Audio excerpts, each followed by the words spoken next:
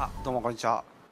えっと大体のその、まあ、山本さんのマニフェストに関してはあの賛成で僕自身もあの応援してるんですけどあの以前2019年ぐらいのあの記事で山本さんが米軍基地をあの将来的にはなくしていくっていうことをですねあの言ってるっていうことをですね記事そういう記事を拝見してしてしたことがありまして実際に YouTube の方でも山本さんがあの選挙活動をされてる際にですねあの 米軍基地をなくしていくっていうことを、まあ、その YouTube で拝見したこともありましてで僕自身はそれに対してはちょっと反対なんですけどそのことについてまず1点お聞きしたいのと,、えー、とあとあ以上です。すみません。ありがとうございます。令和新選組代表山本太郎と申します。皆さんからのご質問にお答えをするという取り組みです。えー、ご質問いただいた方ありがとうございます。米軍基地に関してってことですね。で、私自身はいつの日か米軍基地がこの国からなくなればいいと思ってます。そういう話です。明日、明後日にそんなことできるわけないです。一気には無理。で、少なくとも集中している沖縄、0.6%の国土の中に7割以上の米軍施設があるっていうのは、ありえないでしょ？何か起こったら沖縄が標的にされます。当たり前。まず基地あることが狙われるわけだから。でそうやって、えー、先の大戦の後にも沖縄をある意味で捨て石にしてもう一度捨て石にするのか？って話ですね。それを考えるとやはり捨て石は私でしょ？ってどど沖縄の方ですか？ごめんなさい。ちょっと意味がわからないのでえっと、皆さんびっくりされますよ、大きい声出されたら。大丈夫ですか？警察呼びますか？大丈夫ですか？やめてください。妨害になりますよ。はい。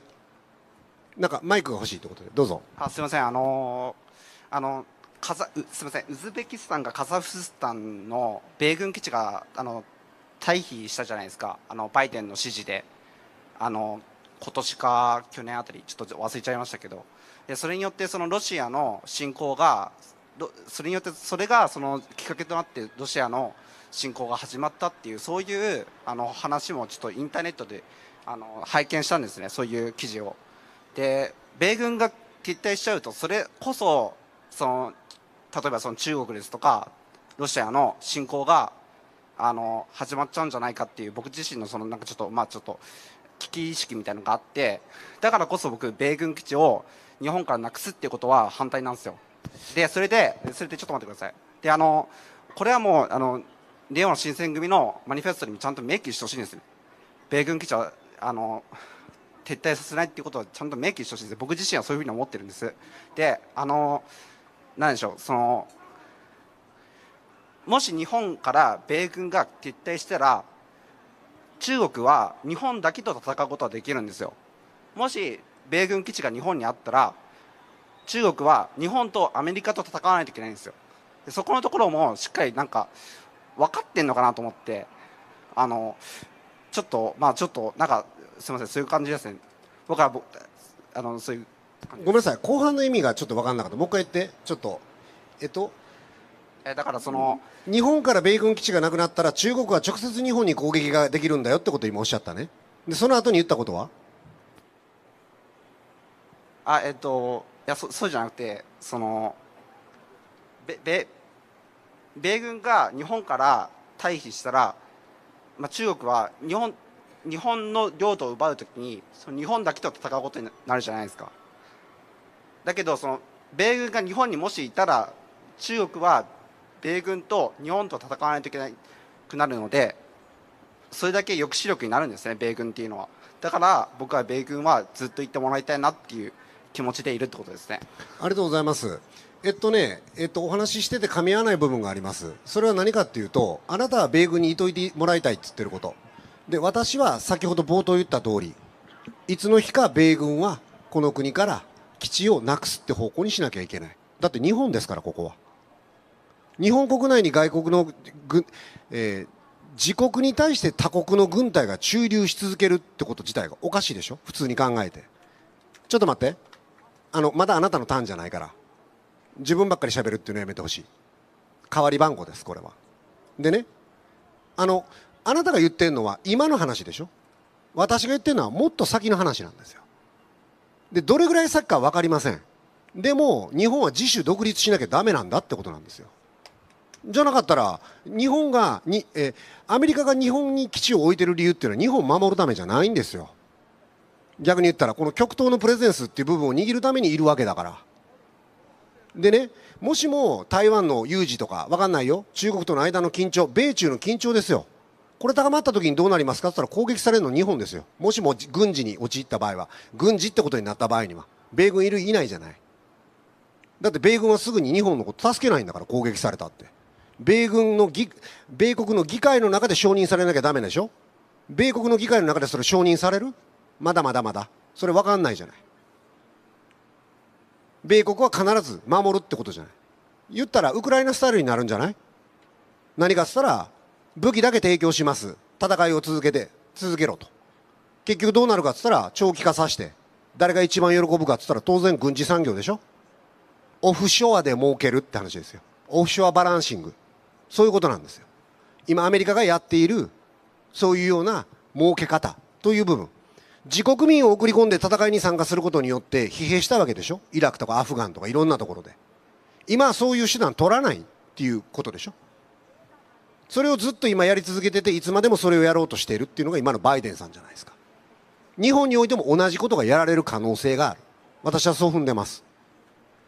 で今すぐに米軍をなくすってことは不可能。これはもう日本が実際にアジアの中でリーダー的な立場になるぐらいのおそらくポジションを築けないとそれ無理ですね。そりゃそうでしょう。数々の大国日本の、えー目の前にあるわけだから。その国々としっかりと外交と経済とっていう部分でつながっていきながらバランスが取れるような形にならなきゃ。そのためにはアメリカ一辺倒アメリカが言ったことに全てイエスですっていう形ではこれ無理なんですよ。日本の自主独立っていうのは。で今の国連の中でも無理でしょ？だって、えーこの間バイデンさんがリップサービスしてた。日本もね常任理事国にみたいな話をしたとしてもそれ無理でしょって。今の常任理事国それ許可するかって。リップサービスなんですよそれは。日本がやるべきは何かっつったらアメリカと対等な同盟になるように努力するってこと。今対等じゃないから。植民地なんですよ日本は。それに気づかなきゃダメ。まずそこがまずそこが基本。ちょっと待って。まずそれが基本。私とあなたの間に話が噛み合わない一つとしてあなたが言っていることは私がすぐにでも米軍をどかせろって言ってるように聞こえてること。それは違う。受け止めが違う。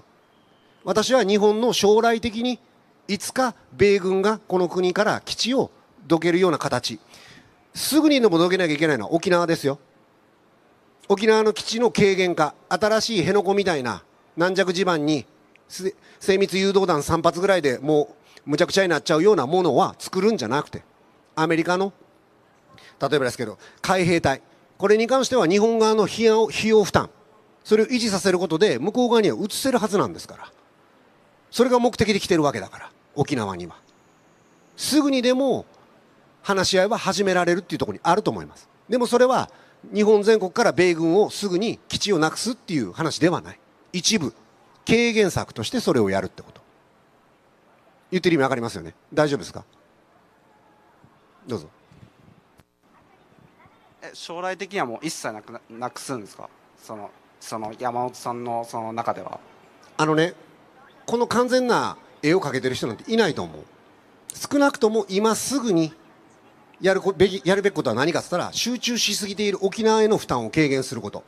それは新基地の建設ではないってことそれは米軍、えー海兵隊に対してカリフォルニアで活動をしていただけるような資金提供を日本側が行うことによって可能だねって。そしてもう一つ日本中から米軍を、えー米軍基地をなくす施設をなくすっていうことはいつになるかわからないけど最終的には本来そうするべきでしょそれができる時っていうのは何ができてるかっつったら当然周辺諸国と外交によって平和的な外交と専守防衛という形でそれが可能になるってことを目指していくのが私は政治のやるべき仕事じゃないかって考えてます。どうぞどうぞ。あのウクライナには米軍基地ないんですけどだからこそ攻められてると思うんですよね。僕は。近くないと思うんですよ僕は。ウクライナに米軍基地がだだってあのもしそこにウクライナに米米軍基地があればそれはそれで抑止力抑止力になるわけじゃないですかじゃああれですね。今米軍基地がある間は中国とかそういうような脅威は一切ないですね。あなたの話に乗ると。今日本にこれだけの米軍基地があってどこにでも米軍は基地を作れるという不平等な話でアメリカ本国ではできないような低空飛行も日本の中ではできて米軍え米軍人が犯罪を起こしたとしても第一次裁判権は日本側にはなくてさまざまなことがあるこの日本の中で米軍はいてるわけだから他国からこれ攻撃されることないってことでいいですよね？あなたのロジックでいくと。どうでしょう？そうですそうですそうなんですか、はい。じゃあ、はい。特に、えーおそらく米軍基地にはいといてもらえと言われる方の中には憲法改正が必要だとか他にも、えー例えばですけれども、えー軍備を強化する必要があるとかそういう方々いらっしゃいますけどあなたはそういうタイプではないってこと？うんえっとえっとそうですねその米軍基地があるんでしょ？そこのだって。そその程度に関してはちょっと僕そのバランスについては分かんないですけどあの気にせずに喋ってください、はい。私とあなたの話だから。あのーそのさっき植民地みたいな話をされてますけどそのまあなんだろうその愛国心をまあそのちょそのねに訴える言葉はちょっとまあ僕自身もあのなんだろうちょっと理解できないんですけどその僕自身はその、まあ、植植民地であってもあの平和があればいいなっていう考え方なんででななんかそこら辺のなんかズレがあるのかなと思って、うん。僕自身はあの なんかその米軍があるからこそ今日本の治安が治安って治安っていうかそのその中国との中国の脅威を念頭に考えた時にはですねあの米軍基地っていうのはかなりの抑止力をあの抑止力があるというふうに僕の中には認識があるんでね。ありがとうございます、はい。えっとねあの言われてること理解しますよ。で米軍基地が抑止力になるかつたら抑止力になると思います。私自身。でその一方で攻撃対象になり得ることもあるってこと。つまり何かって言ったらアメリカの振る舞い一つでそれはどちらにもなるってこと。でそれは中国からの攻撃とかいろんなところからの攻撃っていう意味での今のねその時の状況によっては抑止力になったり攻撃対象になったりさまざまな、えーその時の状況によって変わっちゃうっていう話だと思うんです。だから一方向だけじゃないってこと。そしてもう一つ言えることはアメリカが行うような世界戦略に対して例えばですけどそれに対してアメリカに復讐を誓うって者たちもいます。例えばですけどイラクを壊滅状態にさせられてそこから IS の目がでできたでしょ。つまりはアメリカは敵であるという見方をしている人たちに対して日米が常に対である大量破壊兵器がないと言われてたイラクに攻撃をかけて結果破壊兵器見つからなかったんです。だから無茶苦茶なことしてるんですよ。で結果それに対して自分たちの周りの人たちが悲惨な目にあった。自分の身内が殺された。いろんなことで当然アメリカと敵対する気持ちを持ってる人たちは言っていらっしゃるわけですよね。何にでも日本が植民地側として賛成賛成宗主国様賛成っていう形を取っちゃうと日本も同じに見られるってこと。これが一番まずい。何がまずいかって言ったら日本国内でテロが起こることもあり得るってこと。そこは私はクールに考えなきゃダメだと思ってます。日本の政治が一番やるべきことは何かって言ったら日本国内のことなんですよ。これを最大限しなきゃいけない。日本この国の国益にかなうこと。つまりは何かって言ったらこの国に生きる人々が経済的に不安定にならずに安定しながら生きていけてプラスそれが侵害されないような状況のあなたが言っているような国防っていうことももちろん共にやっていかなきゃいけないことなんだけど米軍基地があることによって抑止力にもなれば標的になり得ることもある。これある意味で私たちがコントロールできることじゃないんですよ言って宗主国様という立場を見て自分たちは植民地っていうことでついていってる限りはいつまでもこれ振り回されるんですよ。自分たちにそこに意思がないから。意思はありますよ。ついていくっていう。足並み揃えるっていう意思はあるんだけどそうじゃなくて。やっぱり自分たちの国であるという自主独立していくべきだよね。来年それは無理。3年後それもさすがに無理だろうと。将来的には自分たちはちゃんと自主独立をしていくというところのイメージに向かって今何ができるか。まずは同じ日本人である沖縄の人たちが小さな島の中で多くの負担を抱えているってことに対してまずは軽減していこうじゃない。どう思う？そこに関して。そのさっき自主独立みたいなことを言ってましたけど自主独立するためには軍隊が必要だと思うんですよ。自衛隊だけじゃ足りないんですよね。足りない理由は何でしょう？だっていやその今足りないと言われる理由は何ですか、はい。あの中国は兵力ちょっといいくらか忘れましたけど多分日本の兵力の多分10倍ぐらいはあると思うんですよね。その兵士だけで。その 10, 10, 10対1で守れると思わないんですよ僕。えっとねまともに喧嘩しようと思ったらダメやねん。ボロ負けやねん。経済力見てみ。えだからこそ日本は30年間経済が壊れ続けてんの。で中国はイケイケやねんこの時点でもう負けてんの。で経済的にボロボロになった極東の島国がそのイケイケの精神だけは生き残ってて。で何か武器だけ取り揃えてあってこれ戦争にならないの。はっきり言えば。そういうことじゃないねもっと本質的なとこ行かなあかん。日本にはポテンシャルがあるから。世界で一番と言われるような時期もあったわけよ。それぐらいの大きな力を持ってる国をここまで弱らせといて国防がっつったって何の説得力もない。国防とは何かっつったらこの国に生きる人々の生活を守ることよ。国のために人々がいるんじゃないから人々のために国があんのよ。この順番を絶対に忘れない忘れちゃいけないと私自身は思ってます。いや僕の認識は全然違います、まあ、ち認識違くていいのよ。認識違くていいの。だって私あの私はあなたのコピーではないしあなたは私のコピーではないから人の数だけ考え方はある。ただしその中で自分の中で大切にしたいと思う事柄は何ですか？例えばあなたの中で何が何でも一番重要なことは米軍基地にいといてもらうというイシューが合うか合わないかで全部判断しますか？どう？政治的政治的テーマって山ほどあるやん。この中で自分で一つ選んでくださいって言われた時に米軍基地を国内に未来、えー未来英語を置き続けることっていうふうにテーマ設定しますか？いやその日本の平和っていうのをテーマに置いてます僕は。なるほど。じゃあ真なる平和を手に入れなきゃダメですよね。誰かに頼り続けた平和であるならばそれはその相手に振り回される可能性があるってことを私は注意するべきだと思うんです。要は自分たちの意思ではどうにもならない力が働くってことだから。そして常に伴走し続けなきゃいけないから間違った選択であったとしても巻き込まれる可能性はあるっていうような不安定な将来を私は作りたくない。私はね。あなたの意見と違くてもそれは私の意見として言わせてほしい。じゃあどうするべきかっつったらやっぱり自分たちのことは自分たちで決めようぜ。っていうことが私は欲しい。でその自主独立していくためには何が必要かってことですけど軍隊化する必要があるという話ですね。でもこれ本当に軍隊というまあもう事実上自衛隊軍隊ですからね。世界中で自衛隊が軍隊じゃないって認識してる国どこにあんの？ないん違う？自衛隊横文字で書いてもディフェンス、えーごめん出るかな？自衛隊、えーセルフディフェンスフォーシス軍隊。日本の国内だけなんですよ。自衛隊が軍隊じゃないよっつってんのは。世界中にそんなこと通用しない。ただし日本は過去の反省もあり専守防衛っていうところに徹底するということで世界には納得いただいている。そういうことなんですね。でその域を超えた時には当然日本側は攻撃される恐れもあるってこと。それは旧敵国条項。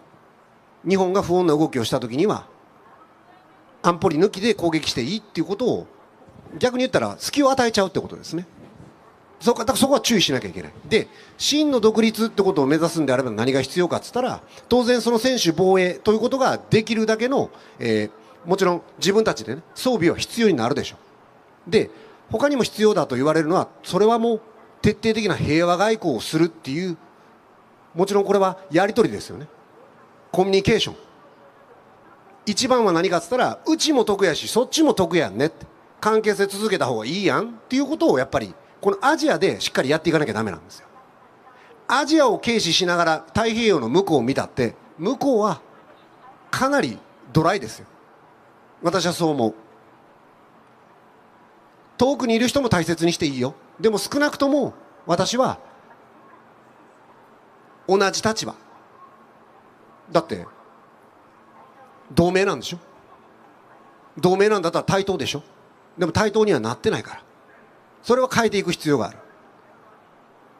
抑止力にもなる米軍基地。それは認める。ただしその時の状況が変わればそれは標的にもなり得る。だから一面的ではないってことですね。そこにも注目していきながら将来。将来は自分たちの国は自分たちでやっていけるようにしたいな。私はそういう考え方。その時には当然専守防衛という範囲で私は自衛隊。これはちゃんと大切にしなきゃいけないものだと思ってます。もちろん災害の時にも大活躍しますし。それだけじゃなくて一番重要なのが平和外交。経済でしっかりと深いつながりを持った平和外交を展開していくっていうのがあなたが本当の意味で平和と言われていることに関してはそっちの方が一番近いんじゃないかなっていうふうに思ったりもするんですけどどうでしょう？僕は米軍が撤退したら多分憲法改正すると思います。米軍が米軍が帰ったらぜあの多分流れ的に憲法改正の流れになっていくと思います。だから今山本さんが憲法改正反対されてますけどそういうふうな道になると思います。えっとごめんね。米軍撤退してないのに憲法改正しようとしてるんだよね。だからちょっと時間軸がちょっと合ってない。えだからえ流れ的に一緒になっちゃうんですよ。もし米軍勝っちゃうと。じゃあのごめんね。前提がまたずれてる。米軍はすぐには帰らない。その前提から違うじゃないですかあはいわかりました。だから私が話してるのは直近の未来じゃないんですよ。近い将来の話はしてない。近い将来の話で米軍の基地をこの国からなくすって話は一回もしてない。でもビジョンって必要でしょ？この国をどうしたいんだって。将来的には。米軍はお帰りいただく。自分たちの国は自分たちで守る。専守防衛で。で近隣諸国ともしっかりと友好関係を築いていく。より深いつながりを作っていく。経済で交流でっていう形でやっていく。これが一番私はなんだろうな脅威にならない関係性の作り方かなと思います。これを軍事で軍事でっていうふうにやり合っちゃうとこれもう歯止めがないです。でいつかそれは間違いが起こる。日本が核を持ったとしてもなかなか戦える相手じゃないと思ってます。人数の多さ。でそれだけじゃなくて、えー国土の広大さいろんなもの経済力いろんなものを考えた時にそこを追求するんだったら私はこの国の景気を良くすることに力を振り向けたい。その経済力日本の持っている経済力もともと持ってたポテンシャルっていうものを最大化してその力を持って経済でつながっていくような外交が私一番強いんじゃないかなって思ってます。すいません。あのいいと思います。あのオリジナルの考え方を持たれているこれ重要なことだと思います。で僕自身ね今おいくつですか？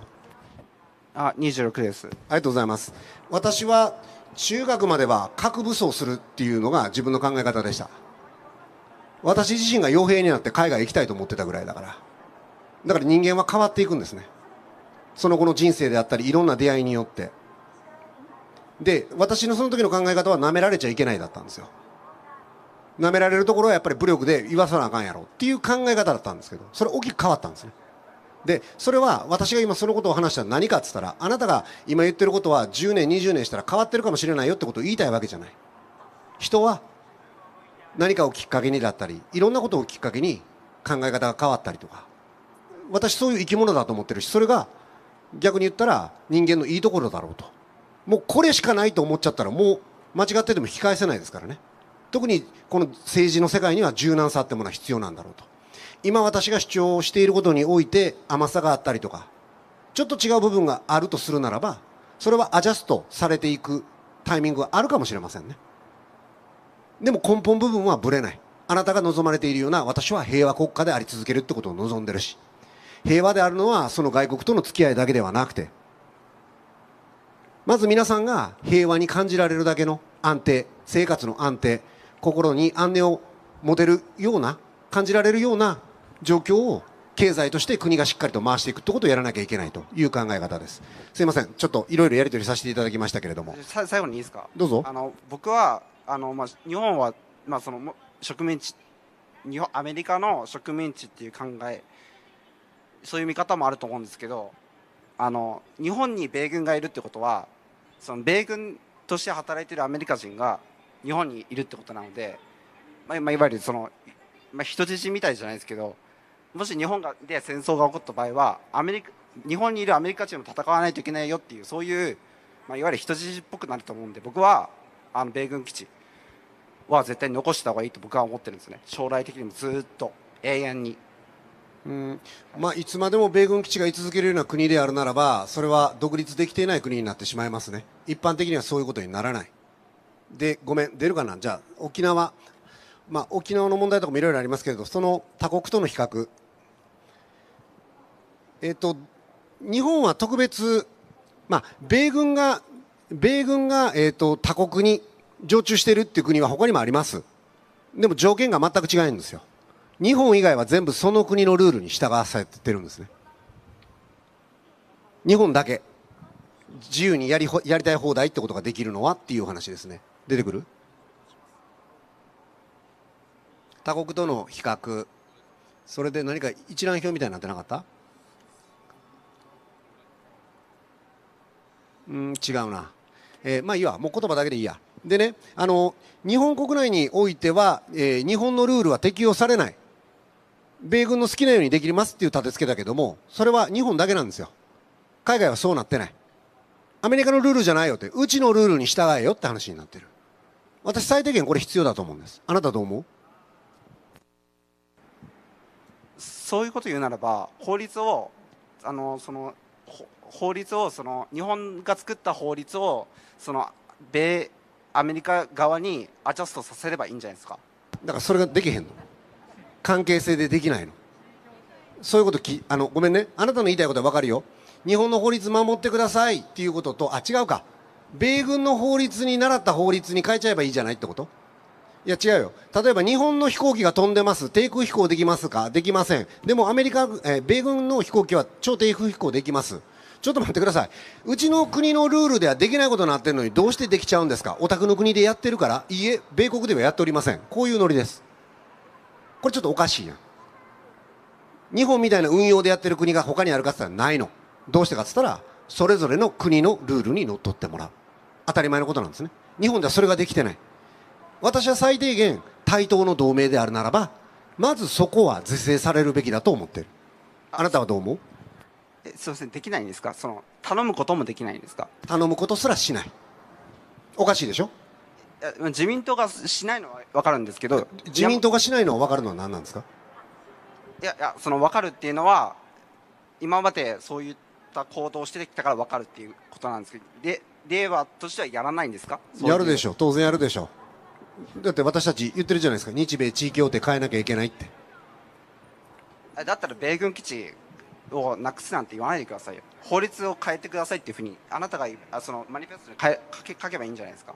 うんちょっと話が全く噛み合ってないな。すぐになくすっていうところから離れてもらっていいですか、はい、そこに縛られてた話が一個も前に進まないあなたと私の間で、えー、話が噛み合わないのは私の至らないところもあるけれどもまずその時間軸いつか米軍基地をなくしたいと思ってますってことを今日明日この数年後って思っちゃってるところからもう話は噛み合わない。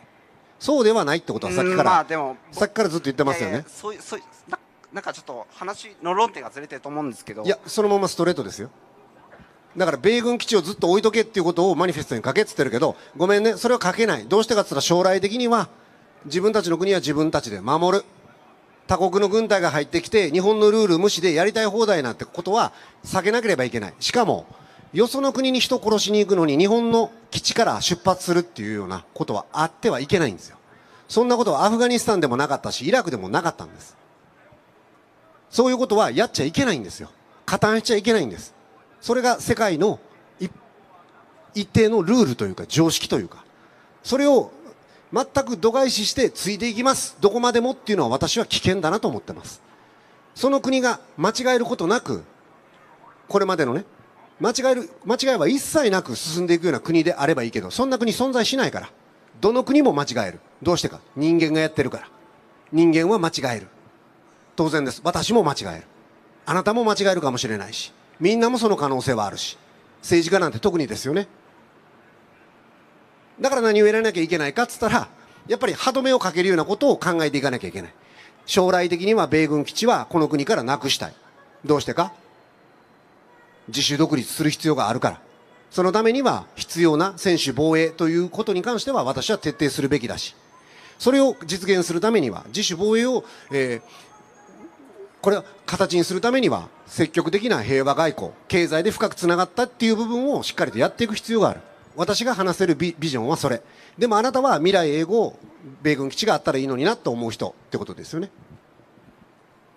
今のところ。